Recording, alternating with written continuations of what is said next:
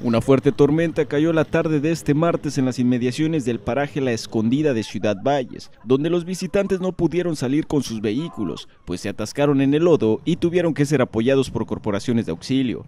Un llamado al número de emergencias 911 movilizó al honorable cuerpo de bomberos y elementos de protección civil a unos metros del camino estatal Valles Chantol. Las familias al observar que sus automóviles quedaron varados entre el lodo y la lluvia no cesaba, solicitaron ayuda a las autoridades.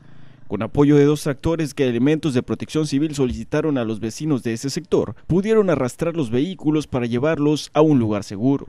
El fenómeno se calmó y en pocos minutos regresó la calma. No se registraron personas lesionadas ni afectaciones en las unidades motrices. Con información de Rolando Pérez, El Mañana Multimedios.